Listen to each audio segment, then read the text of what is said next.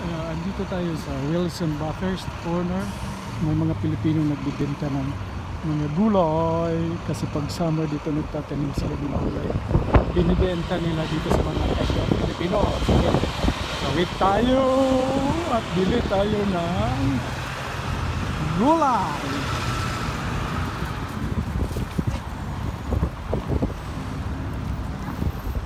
Ito dito sa yun, Bath Bathurst. Dito sila sa gilid ng parang grocery. Anong binibenta mo, Tang? Oo, ato. Kasi hindi kasi sila maniwala na nabubuhay dito sa Canada ang mga ganito eh. Ano, nag-vlog ka? Oo. Oh my God. Kahit ano, ano, ano, ito tang, pagpakita ko lang sa kanila tang kasi ay- ayaw nila maniwala eh, sili to, dahon ng sili. Dito ito sa Canada binubuhay tang ano? Oo. Pati itong mga ano, atsal. Ay, Atsal ba no. to? Ay, hindi. Ah, ito, Ano ah, yan? Ano ah, yan? Talong at saka... Talong, nabubuhay din ito dito sa Oh, Canada. yeah, yeah, yeah, yeah. Hoy, mga Pinoy, nabubuhay ito sa Canada pag summer lang.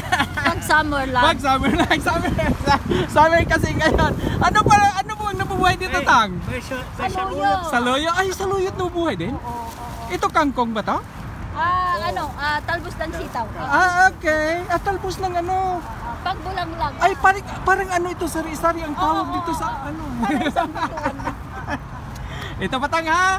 Tingnan natin tang para maniwala sila tang. Ayaw nila maniwala eh. Ito, nabubuhay sa Canada pag summer. Pag summer. oo. Pag summer lang palaya.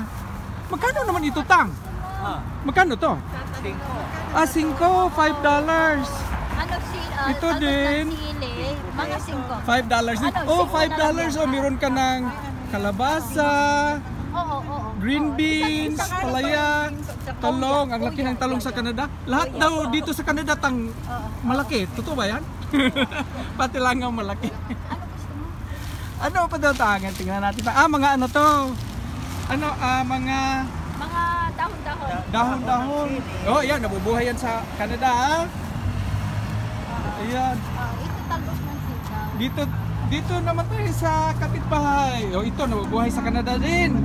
Ano, ano ang pangalan nito? Siling pangpakbet. Siling labuyo, ano? Hindi, pangpakbet. Pang ano? Pakbet. Papakbit yung hindi masyado maanghang. Walang ang... Ah, walang anghang. Nabubuhay ito sa Canada, ano? Oo. Magkano naman ito? 5 dollars. 5 dollars. Lahat pala 5 dollars, ano? Oo. Itong talbos ng talbos Palaya. ng palaya. Para sa munggo ito, munggo. Ito naman bulaklak ng. Ito mo na kasi eh. 5 dollars. bulaklak ng kalabasa. Saan ito nilalagay? Sa dinigdag. Ha? Dinigdag. Ano yung dinigday? Ah, bulang lang sa Tagalog. Ah, itong upo nabubuhay din dito? Oo. Ay, ang laki-laki nito. Basta may summer, kahit anong gulay. Anong month ba magtatanim dito? Ah, June. June. Umpisa na, ay hindi pa, umpisa ng summer yun ah. Spring pa yun, di ba? Oo. Pero Tapos, okay na yan. pero okay na mabubuhay na. Oo. Mga anong June, June first week? Oo, first week. Hmm. Ito, titingnan ko lang ha. Ay, may ano din siya, oh, string beans. Sitaw na pangko. Sitaw na purple. Yan, yan. Ito, mga ano, mga dahon-dahon. May Ay, bawang din. huwag mong sabihin na dito din ito. Oo, dito. Tinatanim mo yan? Oo. Yung bawang? Oo. Ay, mahal yan do, dito sa loob ng ano ah. Mahal ang purple. Magkano naman ito? 15 dollars. Oh, tama lang sa 15. Kasi mahal itong klaseng ano na to ah. Iba ang lasa yan. Oo. Sa No Frills, ano? Yung 5 dollars sa No Frills niyan? O parang 15 dollars na mo. Meron silang mura pero puti. Paano naman ano?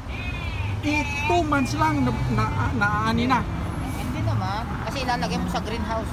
Ah, sa greenhouse. Eh di pwede ka na mag-umpisa ng maaga pag greenhouse. Oo. Oh, ito may kalabasa. Ito kalabasa. Nabubuhay ito. Nabubuhay yan. Mabubuhay yan. Nilalagay lang nila dito sa tray at saka dito sa tabi-tabi. Ang laki-laki naman ng upo na to.